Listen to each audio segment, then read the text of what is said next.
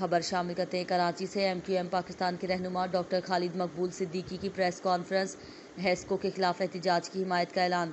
शहरीों को रिलीफ देने के लिए इकदाम उठाना निगरानी हुकूमत की ज़िम्मेदारी है। हैदराबाद में बारह बारह घंटे की लोड शेडिंग हो रही है। कराची और हैदराबाद के ताजरों ने एहतजाज की कॉल दी है। अगर इस मामले पर कोई इकदाम नहीं उठाए गए तो हम एहतजाज का हिस्सा बनने पर मजबूर हैं। मीज़ान न्यूज़ से मलिक सिकंदर की रिपोर्ट।